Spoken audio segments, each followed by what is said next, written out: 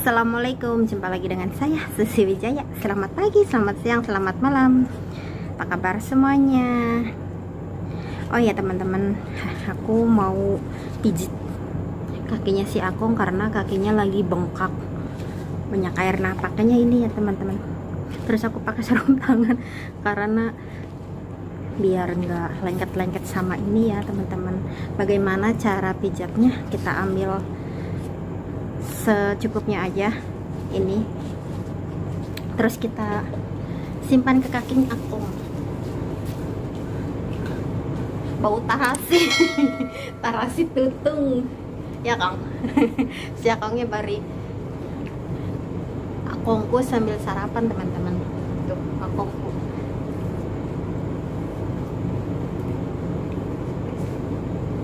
Ya gini nih jadi cara mijatnya tuh dari bawah ke atas ya teman-teman.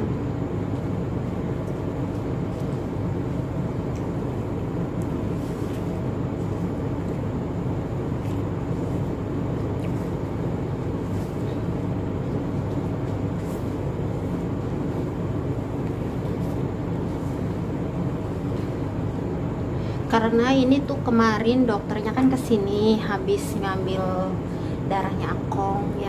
Chose gitu kan ya kalau di sini mah. Nah terus kemarin tuh dokter bilang ini kakinya mesti sering dipijit. Jadi pijitnya tuh dari atas di, di dari bawah di ke atasin gitu teman-teman. Biar si air yang ada dalam kakinya ini tuh naik lagi ke atas. Karena ini menyangkut jantungnya karena jantungnya nggak baik gitu kata dokter kemarin saya melakukan ini teman-teman. Mungkin teman-teman yang lain punya pasien sama seperti aku tahu kan? Dulu ama juga yang aku jaga itu istrinya kakekku juga kayak gini teman-teman. Makanya aku sering mijitin kakinya biar nggak bengkak gitu kan. Rata-rata kan orang tua itu kan males jalannya jadinya pengennya tuh tiduran terus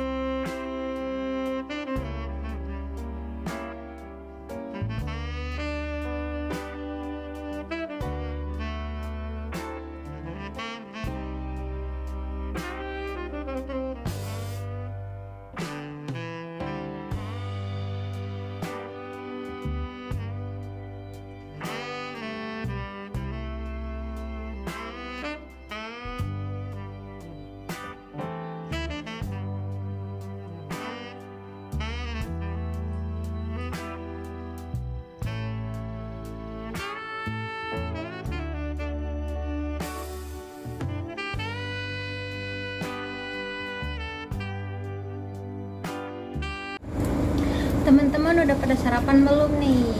Jangan lupa sarapan ya teman-teman. Ini ngalangin nih. Set. Ngalangin tongkat kakekku.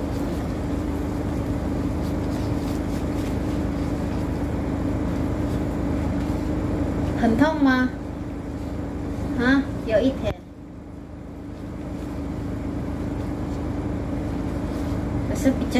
lah có your arm up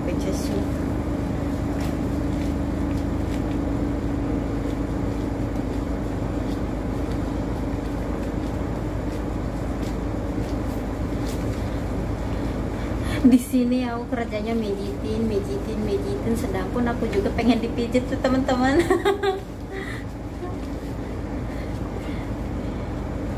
paling bisa dipijit nanti kalau pulang. Karena waktu itu pernah aku pijit ya manggil temanku datang ke sini mijit di rumah gitu kan. Bayarnya itu 600 600 itu cuman satu jam teman-teman. Nggak semuanya cuman kakinya aja. Aduh. Tapi kalau kita ke spa Taiwan gitu kan 1000 itu puas banget loh teman-teman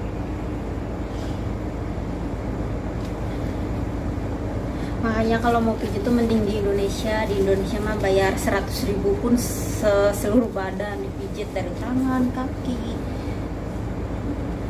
kepala semuanya. Pijit.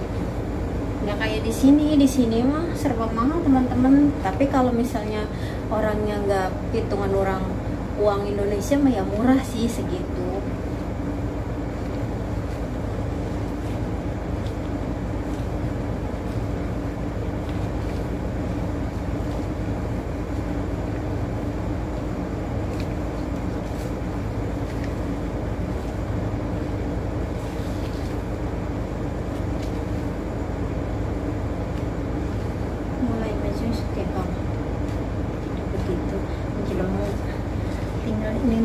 sedikit lagi.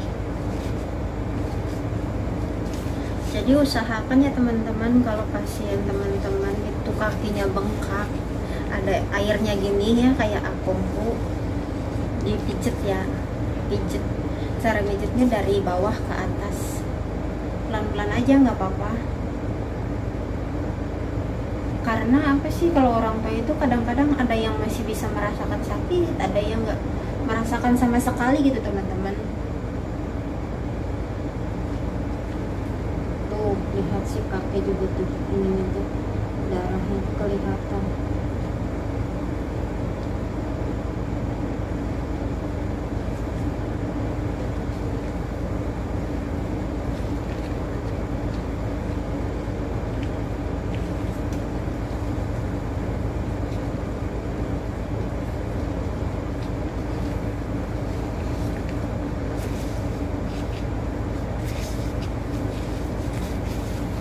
jadi kakinya bersih kinclong.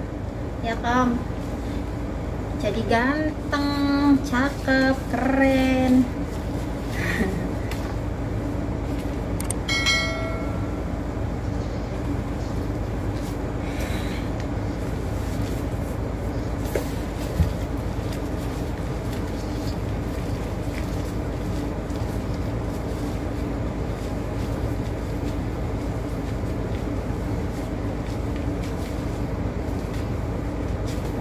kenapa saya mesti pakai sarung tangan? Karena kan kadang-kadang kaki pasien itu kotor ya teman-teman walaupun kita bersihkan setiap hari untuk menghindari hal-hal yang tidak diduga gitu teman-teman. Makanya pakai sarung tangan plastik biar saat mijet itu lesang alias licin.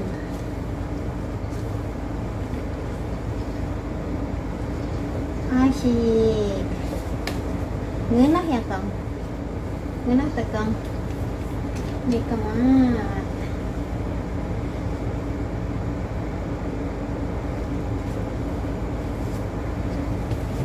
nak enak enak asik asik asik nak enak enak asik asik asik tuh ini. Ini tuh apa sih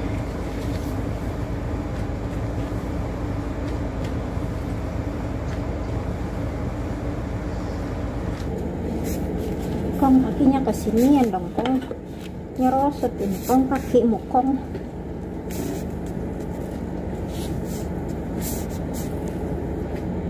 kenapa ya teman-teman? Saya tuh jarang upload. Sebenarnya tuh banyak video yang saya upload. Tapi anehnya tuh setiap upload ke YouTube itu nggak keset teman-teman.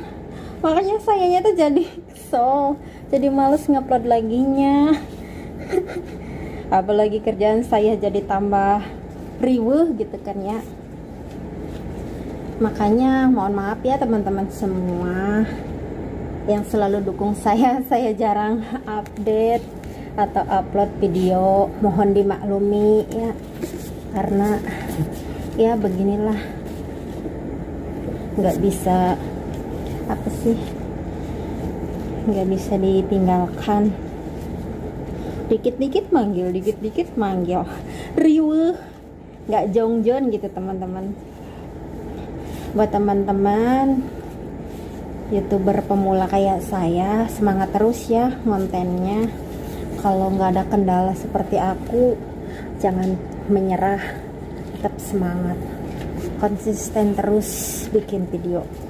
Karena aku kan kendalanya nguploadnya nggak ke save lah pas ngeditnya dipanggil-panggil mulu lah inilah itulah. Jadinya tuh membuat saya males teman-teman. Lebih baik kalau dianya tidur akunya ikut tidur aja.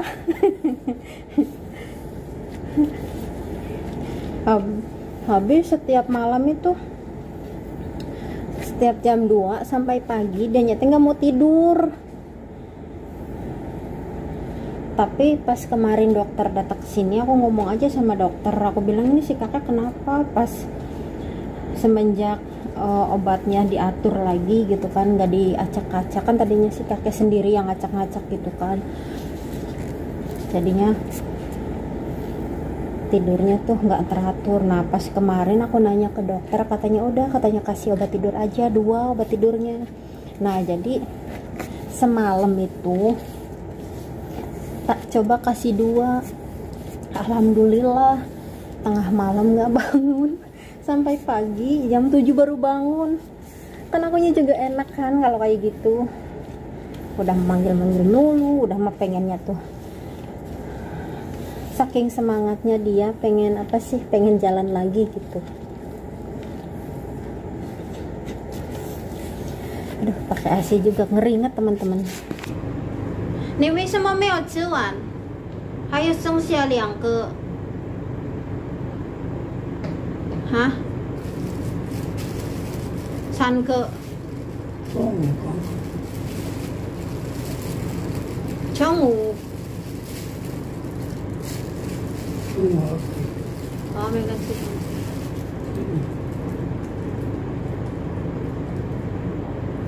这个要有字哦。hòa tan.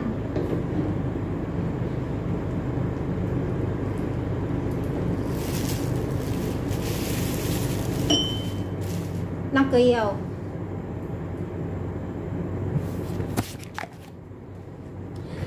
Oke teman-teman udah selesai mijitnya. Kakeknya juga sarapan udah selesai dia lagi minum obat.